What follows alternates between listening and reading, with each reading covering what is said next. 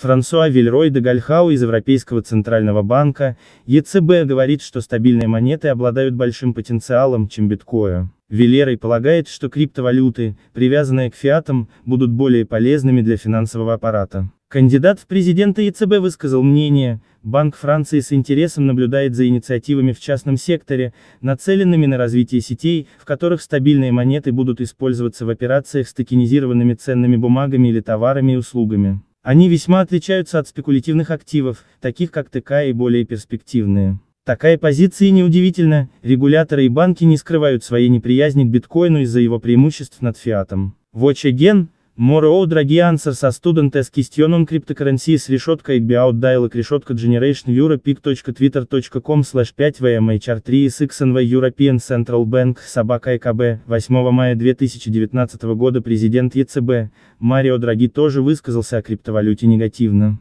Он сказал, что биткоин это не реальная валюта, а просто актив, отметив евро, это евро, сегодня, завтра, через месяц, это всегда евро. За ним стоит ЕЦБ, кто стоит за криптовалютой. Но политик не отмечает, что денежно-кредитно. Полный текст читайте на сайте cryptofans.ru, ссылка на новость доступна в тексте под видео.